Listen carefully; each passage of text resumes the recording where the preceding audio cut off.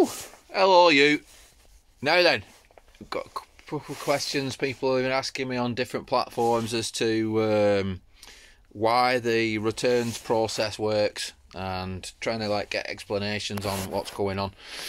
Basically, what happens is the corporations cannot, in English law, um, contract without your consent with the living man or the living woman. Now, what that means in a contract is that you sit down with them, you discuss your service and their terms, how much you're going to pay, and then you'd hash it out, and then you'd have a contract drafted up, you'd sign it, they'd sign it. Right? That's a contract in English law, contract law. So they don't do that because it's not a contract. It's actually called an account, which is balancing, balancing the books. So because they're a corporation, that is actually against English law for them to do anything. Right? Because they can't contract with you. So how it works is that when you're born on your birth certificate, there is a a corporation created, an entity created at the same time as when you were born, as it were. So there's a paper you and a living you. Alright, difficult for people to get their head around this, but it's true. Your informant on your birth certificate is tends to be your father. Informant, that's somebody who grasses you up. Yeah.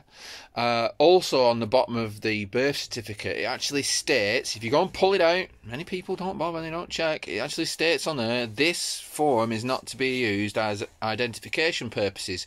Yet they'll let you use that document to obtain a bank account, a driving license, your passport,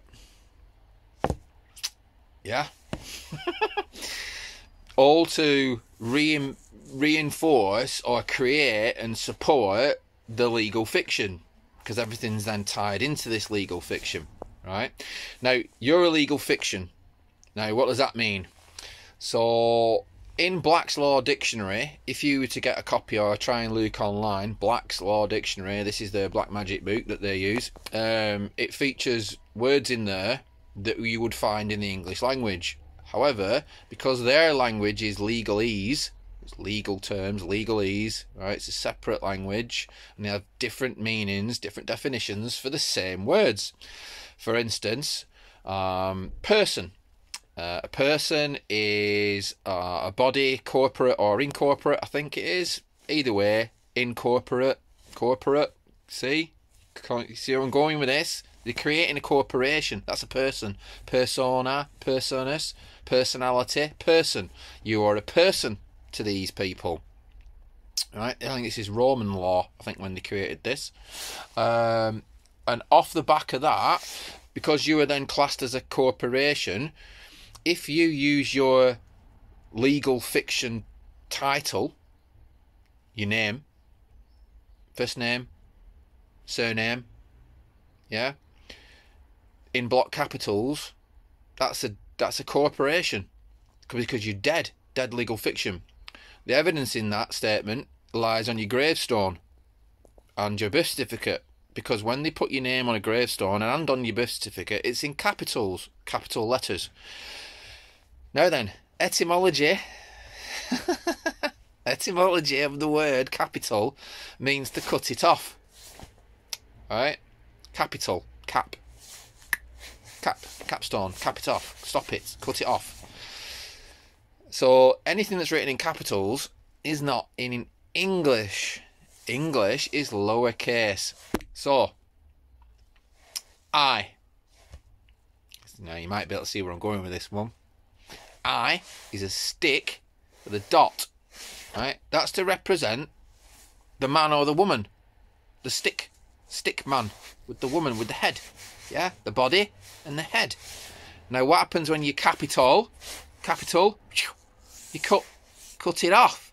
So you're just left with the body. Have you lost your mind yet? You're losing your head? These, these are all phrases that we use, we don't comprehend the meaning. Right? So, to capital means to cut it off. So, they capitalise the lowercase yeah, lowercase letter, and they take your life because you cut the head off. And that's how they function.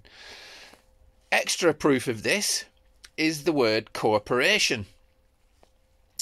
Break the word down.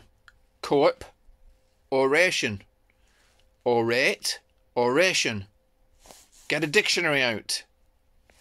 Google it. Orate. What you do? What do you do when you orate? Speak. You speak. Orate. Corp. Corpse. You're dead. Speak to the dead. Because in English law, don't forget, they cannot address and contract with the living, which is you. Yeah, living the body. But they can obviously corp they can contract with the corporation, corporation to corporation. They're doing business. it's such a scam. It's such a scam, and it's basic stuff that we just don't know. And I found out, and I was like, I researched this for time. I've been at this for about two years, dribs and drabs, took three years even, um, till I get to the point where I know know the basics the basic stuff and you just keep running it over and over and over in your head until it finally sinks in and then you you test this system and you look at documents and you think hang on a bloody minute. It's right. Same if you use the word mr or miss. These are titles. Yeah? It's a title that you've not been granted. So you're using it without permission. So because of that and you're using it without permission you're then liable for its use. so so sneaky, so sneaky. Um, so yeah, do basically what that means is do not claim the name. Now, what that means is if somebody comes at you with a document, right, and it says on it Mr. Joe Bloggs or Miss Sam Smith or whatever, right? That's the, they're addressing the dead legal fiction.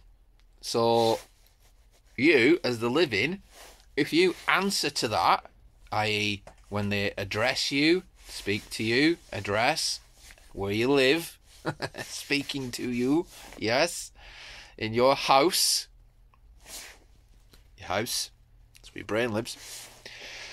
If they address you and you respond, right, that creates what's called joinder. Joinder is a legal term Joinder puts the dead legal fiction, the capital, yeah, the paper, paperwork, the birth certificate name, with the living, breathing man or woman. Joinder. Put two together. Two and two. Right? Put two together. And then it gives them technically permission to come after you for your debts, your fines, your charges, anything else that, that's related to it. So this is why you use the return to sender process because what that means is when they're trying to address you, speak to you, you're taking their offer because that's what it is. It's an offer. It's an offer for you to pay. Right? Because there's no contract. And if you pay, that's through consent. It's like somebody walking up to you on the street and saying, Yeah, mate, give 50 quid. And you hand it over. And then you walk off and then you see a copper and you say, hey, he's nicked 50 quid off me. He's nicked 50 quid off me. Copper goes and speaks to him and say, what, what happened? They give me 50 quid. Is it theft? No, because you give it them. it's a scam.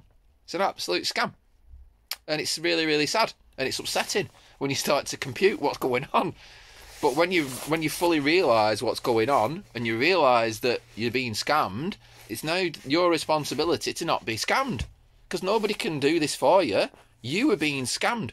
I'm holding up a gun with no bullets in. You can see there's no bullets in, and I'm saying, "Give me fifty quid." In fact, give me, give me, give me this charge. You parked in the spot, fifty quid. Give me fifty quid. Give me fifty quid. You, you go, get, get out me face, man. Get out me face. What you doing, wearing that thing in my face? Same thing. You know, you got to use metaphors. I'm trying to go like get it into your head because it, it needs to go in. it needs to go in here. You need help. And I'm here to help. Because I needed help.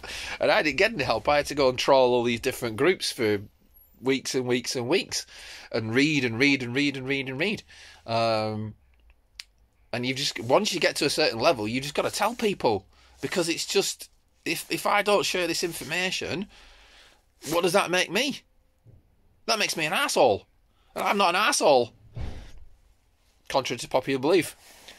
So that's the basic stuff about a corporation, and that's why you use this return to sender because they're trying to contract with you. And if you look on the other video that has the documentation that I tell you to pause the screen and screenshot it and then type it out and print it out and stick that over the window on the actual envelope, you'll be able to comprehend now why that's on there and you'll be able to put two and two together. Right? Uh, and it will help you uh, adjust mentally as to what's been going on. Um, you know, the information that I give out will upset a few people because I'm challenging you mentally. You know, you've been conned all this time, and it's upsetting. You know, so you'll take it you'll take it out on me. It's like a victim triangle, Stockholm syndrome. So your abuser basically takes the money off you. Then the third party, myself, steps in, gives you evidence and information, and says, "Look, this is happening. You need to do this. You need to do this, and you can do that." And then they'll go away, and then you'll turn on me and attack me. Some people are like that. You know, it's because of your consciousness. It's the it's the lower end of the consciousness. The other side of that, another lower form of consciousness, is apathy apathy is oh well oh well uh, well I just pay it oh, you know I don't want any trouble. That's fear as well. That's another one. It's another that's another lower consciousness state and that's where they keep you. Um, you know it's really really bad. Guilt for paying all this time and not realizing it. Shame that's another low consciousness vibe. It's it's all intermeshed all these lower consciousness states and uh, sadly that's where they keep us um, until you start to realize and then you bypass that fear and then you move up to anger right because then you're angry then you're like you you know what i mean you've had me over and i've paid and i've lost all that money I could have spent that on feeding my kids, on going on a holiday, paying for my car insurance, paying for the flat tyre, paying for this, paying for that. Right? It's a lot of money. They've got they've got no right to take your money, but they're not taking it. You're giving it them freely through consent. So now I've told you, you can do something about it. And you can help yourself, and then you can help your friends, you can help your family. It's going to take some doing because this stuff has been indoctrinated into us generation after generation after generation. And they will turn around to you if you approach them with this information and they will say, Oh, that's rubbish, you'll get in trouble, you'll do this, you'll do that. They don't want to know. They will not want to know. Because if you tell them and it sinks in, they need to action it. And they won't do through fear of reprisals, guilt, and shame from other people. Oh, I pay mine. I pay my TV license. I support paedophiles. I mean, I don't even know if they are. There's a lot of evidence to suggest that they actually are. Um, but yeah, I mean, don't you don't need a TV license. You just you don't even need to do it online or anything like that. You just cancel your cancel your direct debit or anything like that. Uh, and if it comes through the post, you just either ring them up and tell them that. Uh, you, you don't live there. Mm, I don't really like doing that because that's technically it's fraud. But hey, the criminals. You know what I mean? Fight fire with fire and all that jazz. I mean, I've never paid a TV license in my life um, because I don't want to because I know it's a scam. Fortunately, um, same as your water, by the way. Um, close your account with your water. This is what I've done. This is not advice. Not legal advice. Remember that. It's personal opinion. I closed my account. Uh, closed the direct debit down. Got it in writing. Paid my final bill if there was anything outstanding. You know, for the time taken between the months as to when you pay, or once every three quarters, or whatever it is. Uh, I paid it all off, so there's no debt. Yeah. And and that was it. Then what will happen is you'll get a letter to the occupier for your water, your estimated water. If you've got a smart meter, get rid of it, man. Get rid of that thing. That's bad news. Um, yeah, another story. Get rid of it. Um, and then you can just chuck the uh, offers in the bin um, because it's actually a, a human right. Now I'm going to do that word in another video. It's actually a human right that you are allowed water because it is a right and they cannot take a right away from you. Um, which means you don't pay for your water because it's a right. So they can't shut you off. Because they can't shut you off, they poison it. they poison your water. That's another story. oh, everyone will be like this. Like, get off, get off. He's rubbish, he's rubbish, he's lying to me. Me, being poisoned. You're being poisoned. Fluorinated. It calcifies your pineal gland. It causes numerous issues. Um, I mean, heaven forbid you have a shataf, one of those little gun things that you uh, spray your bum with. Um, because if you're in, you're blasting that around your rectal area and through your mucous membranes and all this lot. This is where it gets interesting. Of science.